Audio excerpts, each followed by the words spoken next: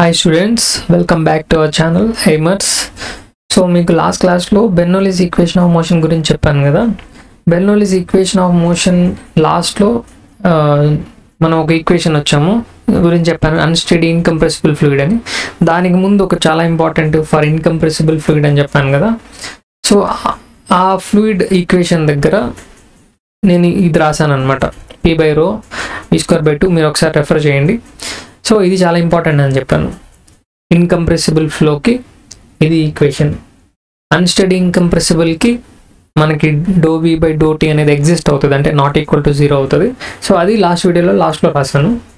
So ఇక్కడ నుంచి start చేస్తే మనకి energies of fluid or energies of liquid in motion అంటారు. Energies of liquid in motion three energies ఉంటాయి. ఆ ఎనర్జీస్ ఎలా వచ్చాయనే దాని గురించి ఇప్పుడు డిస్కస్ చేద్దాం. చూడండి. ఫస్ట్ ఆఫ్ ఆల్ ఇది ఇన్కంప్రెసిబుల్ ఫ్లూయిడ్కి ఉన్న ఈక్వేషన్ కన్ఫ్యూజ్ అవ్వకండి. దీన్నే ఎనర్జీ ఈక్వేషన్ అంటారు. ఏమంటారు? ఎనర్జీ ఈక్వేషన్ మనకి ఎనర్జీ ఉన్నట్టే ఫ్లూయిడ్ కూడా ఎనర్జీ ఉంటుంది. దానికి త్రీ టైప్స్ ఆఫ్ ఎనర్జీస్ ఉంటాయి. ఓకేనా ఫస్ట్ ఇదే. ఈ టర్మ్ చూడండి. P by rho p by రోని ఏమంటారంటే ప్రెషర్ ఎనర్జీ పి అంటే ప్రెషరే కదా? Pressure energy per unit mass. Per unit mass. కింద మాస్ డెన్సిటీ ఉంది కదా డినామినేటర్లో. అలాగా. నెక్స్ట్ టర్మ్ చూడండి బీ స్క్వేర్ బై టూ. ఈ term. V square by two ఏమంటారంటే kinetic energy per unit mass. Kinetic energy per unit mass. తర్వాత ఇది ఒకటే కదా మిగిలింది. సో జీజెడ్ దీన్ని ఏమంటారంటే potential energy potential energy per unit mass. So దీనికి three types of energy energies ఉన్నాయి. ఫస్ట్ ఇది ప్రెషర్ ఎనర్జీ సెకండ్ ఇది కైనెటిక్ ఎనర్జీ థర్డ్ ఇది పొటెన్షియల్ ఎనర్జీ సో ఈ ఎనర్జీ ఎనర్జీ అంటే తెలుసు కదా మీకు energy is nothing but work done work done ఎంత వర్క్ అయితే చేసిందో దాన్ని ఎనర్జీ అంటారు. సో ఇప్పుడు ఏం చేస్తామంటే ఈ ఈక్వేషన్ని మొత్తాన్ని జీ జీతో డి డివైడ్ చేస్తాం అనమాట ఈక్వేషన్ మొత్తాన్ని జీతో డివైడ్ చేస్తాం. డివైడ్ చేస్తే ఏమవుతుందంటే నేను డైరెక్ట్గా రాస్తున్నాను చూడండి. P by rho g plus v square by two g plus g into z by g is equal to constant is equal to constant ఇక్కడ ఈ జీ జీ క్యాన్సిల్ అయిపోతుంది. సో రిజాల్వ్ చేస్తే ఏమవుతుందంటే p by rho g plus v square by two g plus z equal to constant మనకి తెలుసు.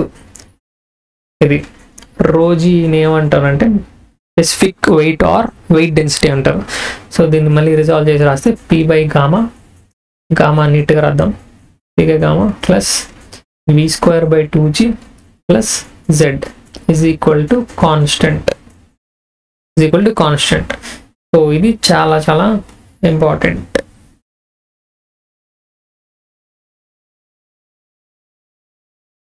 ఓకేనా? So దీని నుంచి ఇప్పటి వరకు మనం డిస్కస్ చేసింది ఎనర్జీస్. ఇది types of energy so pressure energy per unit వెయిట్ని P by gamma అని ఏమంటారంటే దీన్ని స్పెసిఫిక్గా చెప్తాను నెక్స్ట్ చూడండి. P by gamma p by gamma అని ఏమంటారంటే pressure energy per unit weight ఇందాక యూనిట్ మాస్ అది రో కాబట్టి యూనిట్ మాస్ అయింది. గామా కాబట్టి యూనిట్ వెయిట్ అవుతుంది. ప్రెషర్ ఎనర్జీ పర్ పర్ అంటే divided by per unit weight unit weight so దీన్ని ఏమంటారంటే ప్రెషర్ హెడ్ అని కూడా అంటారు. ఆర్ ప్రెషర్ హెడ్ హెడ్ అంటే నథింగ్ బట్ హైట్ ఎప్పటికీ గుర్తుపెట్టుకుని హెడ్ అంటే హైట్ ఏ height pressure head height pressure height తర్వాత v square by two g దీన్ని ఏమంటారు? Kinetic energy per unit weight kinetic energy per unit weight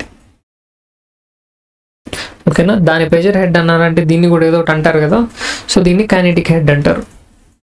kinetic head so ఇంకొకటి మిగిలిపోయింది కదా? జెడ్ జెడ్ ఒకటి మిగిలిపోయింది దీన్ని. Potential energy per unit weight per unit weight so దీనికి కూడా ఏదో ఒక నేమ్ ఉంటుంది కదా. ఆర్ దీన్ని ఏమంటారంటే డేటమ్ హెడ్ అంటారు. ఓకేనా or potential head potential head or datum head datum అంటే తెలుసు కదా రెఫరెన్స్ లైన్ డేటమ్ హెడ్ అంటారు. సో ఈ మూడింటిని యాడ్ చేస్తే ఏమవుద్దంటే దీన్ని summation of all these summation అంటే వీటన్నిటిని head is summation of all these is known as total head total head so ఈ మూడింటిని టోటల్ హెడ్ అంటారు. అండ్ ఇందాక ఎనర్జీస్ పాయింట్ ఆఫ్ వ్యూలో ఇక్కడ చెప్పాను కదా బ్యాక్లో చూడండి. సో వీటిని టోటల్ ఎనర్జీ అంటారు. ఓకేనా ఇవి టోటల్ ఎనర్జీ ఇది టోటల్ హెడ్ సో ఎనర్జీస్ అనే కాన్సెప్ట్ మీకు క్లియర్గా అర్థమైంది అనుకుంటున్నాను. ఇంకా డీటెయిల్గా చెప్పాలంటే చూడండి. ప్రెషర్ ప్రెషర్ ఎనర్జీ ఉంది కదా? ప్రెషర్ ఎనర్జీ ప్రెషర్ హెడ్ దగ్గరికి వద్దాం. Pressure head pressure energy per unit weight is equal to pressure head pressure head అంటే ఏంటంటే ఎనర్జీ అదొక టైప్ ఆఫ్ ఎనర్జీ దేనికి ఎనర్జీ అంటే అది హైడ్రోస్టాటిక్ ప్రెషర్ వల్ల వచ్చిన ఎనర్జీ అది. హైడ్రోస్టాటిక్ ప్రెషర్ నేను రాస్తాను చూడండి. హైడ్రో స్టాటిక్ ప్రెషర్ అంటే ఎందుకు వచ్చిందో కూడా తెలుసుకోవాలి కదా. హైడ్రోస్టాటిక్ అంటే ఏంటి? రెస్ట్లో ఉన్నప్పుడు. When water is in rest అప్పుడు దాని మీద యాక్ట్ అయ్యే ప్రెషర్ వల్ల వచ్చిన pressure energy pressure energy pressure energy అంటారు. దాని వల్ల వచ్చిన ప్రెషర్ని సో నెక్స్ట్ కైనెటిక్ ఎనర్జీ ఉంది కదా. కైనెటిక్ ఎనర్జీ అంటే KE kinetic energy head kinetic head అంటారు. కైనటిక్ ఎనర్జీ అనేది it is due to the velocity ఇప్పటిదాకా రెస్ట్లో ఉన్నింది. వెలాసిటీ యాక్ట్ అయిన తర్వాత ఏమవుతుంది? హైడ్రోస్టాటిక్ కాస్త హైడ్రోడైనమిక్ అయిపోతుంది. సో అది వెలాసిటీ వెలాసిటీ అంటే కైనటిక్ ఎనర్జీ కైనటిక్ ఎనర్జీ వల్ల వచ్చిన హెడ్ ఆర్ దాని వల్ల వెలాసిటీ వల్ల వచ్చిన ఎనర్జీని కైనటిక్ ఎనర్జీ అంటారు. ఓకేనా v square by two g g అంటే acceleration due to gravity next ఫైనల్గా datum energy or potential energy అంటారు. దాన్ని అది ఎందుకు వచ్చిందంటే it is due to the potential head అనమాట ఐ మీన్ డేటమ్ అని చెప్పాను కదా మీకు రెఫరెన్స్ లైన్ అని. ఆ రెఫరెన్స్ నుంచి ఆ పాయింట్ వరకు ఇప్పుడు ఫర్ ఎగ్జాంపుల్ మీకు ఒక సెక్షన్ తీసుకొని చెప్తే క్లారిటీగా అర్థమవుతుంది. సో నిమిషం. సో మీరు మామూలుగా ఎలాంటివి చూస్తారంటే ఇలా చూస్తారు. బుక్స్లో ఇలా ఉన్నట్టు. ఇలా ఉన్నట్టు చూస్తారు కదా. దాన్ని డ్రా చేద్దాం. ఫ్లూయిడ్ సెక్షన్ uh, ఒక సెక్షన్ దగ్గర కన్సిడర్ చేసినప్పుడు ఇలా తీసుకుంటారు. సో ఇది సెంటర్ లైన్ సో డేటమ్ అంటే ఏంటంటే ఒక రెఫరెన్స్ లైన్ సర్వేయింగ్లో కూడా డేటమ్ రెఫరెన్స్ లైన్ తీసుకుంటాం కదా. రెఫరెన్స్ పాయింట్ ముంబైలో ఉంటుందని చెప్పి రెఫరెన్స్ పాయింట్ చెప్పుంటారు కదా మీకు? అదే దీన్ని డేటమ్ లైన్ డేటమ్ లైన్ అంటారు. అండ్ ఇక్కడ నుంచి ఈ పాయింట్కి ఈ పాయింట్ ఎగ్జాక్ట్ ఈ పాయింట్ ఉంది కదా? సెంటర్లో కూడా తీసుకుంటారు. ఈ పాయింట్ దగ్గర కూడా తీసుకుంటారు కొన్ని కొన్ని సార్లు. సో ఇది దీనికి ఉన్న డిస్టెన్స్ జెడ్ ఇది డేటమ్ హెడ్ ఇది సెక్షన్ వన్ అనుకోండి ఇది సెక్షన్ టూ అనుకోండి. సెక్షన్ వన్ దగ్గర జెడ్ వన్ ఇది సెక్షన్ టూ కదా?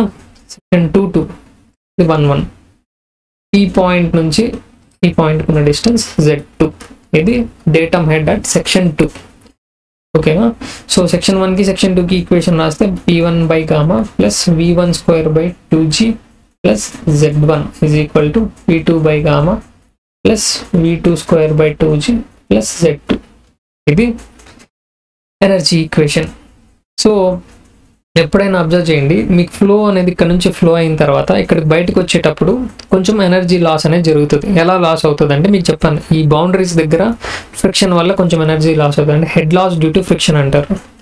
Head loss due to friction అంటే ఎనర్జీ లాస్ అవుతుంది. మీరు కాలేజ్కి వచ్చినప్పుడు ఒక ఎనర్జీతో ఉంటారు.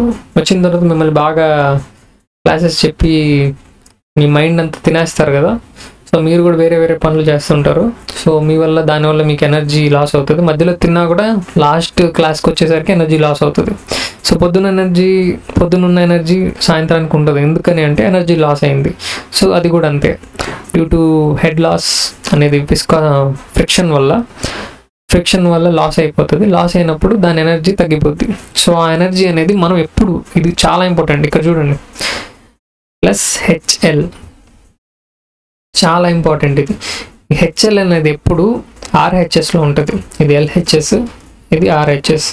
ఎందుకనంటే సెక్షన్ వన్ నుంచి వచ్చేట స్టార్ట్ అయ్యేటప్పుడు ఫుల్ ఎనర్జీతో ఉంటుంది. ఎండింగ్ ఆఫ్ ది సెక్షన్లో లాస్ అనేది జరుగుతుంది. సో అందుకని ఇప్పుడు సెక్షన్ టూ దగ్గర ఆర్ ఆర్హెచ్ఎస్లో ఉన్న దాని దగ్గర హెచ్ఎల్ తీసుకుంటారు. So this is about energies of flow.